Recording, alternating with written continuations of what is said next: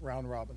I mean, you know, we're, we're going to have to, you know, take on um, um, take on um, um, the Raiders and get ready for them, and then we'll we'll, we'll worry about the the next five games. Ron, what do you make of, that you're pretty much in that position though, like even if you don't win all five of the games like you maybe needed to earlier in the year, you're still in this position. So what do you make of the, that as a whole that you guys dug yourself out of? Um, well, we're not out of it completely, you know, but um, you know, unfortunately, it was about learning and growing, and it was all part of the the process that we've had to go through to develop as a team. I mean, it, it really wasn't going to happen overnight. I mean, you know, I know last year, and, and a lot of people I talked about it early, and I got people got upset with me, but that's ball. I mean, it's just the way it is. That's the truth of the matter. And just being honest. I think we're coming together and being the kind of team that we envisioned. And if we can continue to work and play the way we've played, we give ourselves a chance, and that's all we need is a chance. There, there are some, there are, there are some teams that when they hit adversity, they bounce back. For yourself, being able to turn teams around late in the season, previous season, do you kind of have that same type of, I don't want to call it like a swagger for yourself, but to know that you can turn the team around? Well, I wouldn't say that, Darren. I, I think it's just, you know, when, when, when you work hard and, and the guys do the things that we ask and, and it starts to come, then you see it because of that, because of, of what we've done. I, I don't think there's a real magic formula as much. It's just about working hard. I mean, if you watch the way they practice, you know, I know you guys can't, but if you saw it, you, you know, it's impressive. Um, it really is. I've had when when we've had the production crews that come and they watch practice, they watch the Friday practice, and they go, "God, you guys are you know right." Well, that's what I learned from Andy Reid. I mean, you know, Friday is an important day, and we got to practice the right way, and the guys do that, and we've done it all year, you know, and and now I think we're starting to see it come together. Ron, what do you think about Taylor's performance? I thought Taylor was sharp. You know, there were a couple things I know he'd like to have back. The one he threw to Logan that got intercepted, he was late on it, and he knows he was. Um, you know, part of the problem was Bobby Wagner rolled underneath perfectly and, and, and forced him to, uh, to, to, to, to, to pump it once and then try to throw it, and it was by then it was late. If, if, if he had thrown that earlier, Bobby might have knocked it down, um, but he tried to force it. That's probably one of the big mistakes he made all day. Um, other than that, I thought he was he was he was solid. He managed the game the way we needed it managed, um, and and then he made a couple plays when we needed the plays made.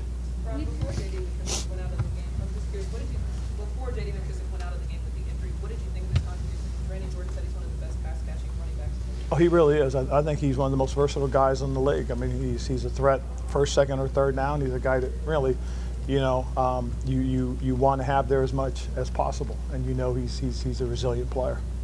You with- with- mentioned uh, players getting more comfortable with each other out there. Do you see ways where Scott is getting more comfortable with the guys he has available and what Well, um, yes, and, and I think now getting you know both Logan and Curtis back are, will open up some more things even even more so. I thought he did a nice job rolling people and keeping guys fresh, and, and that was important just to see how those guys really um, responded when they got their opportunities. And I think it makes for a, a, a lot more competition in terms of just when you get your chance, you've got you know you're out on the field, you got to produce. with, An- with Antonio, with how much of it for him is, you know, we talked about some of the maturity, running, pressing the hole a little a little bit more physical, but that shin, you see a big difference with, with being healthier? Well, yeah. I mean, uh, you know, the, the last time he, you know, he, he was he was feeling, you know, where he was struggling. You know, he, he wasn't as productive, but lately he's really been feeling good. I mean, he played a heck of a football game too. He really did. Very physical game. He played downhill.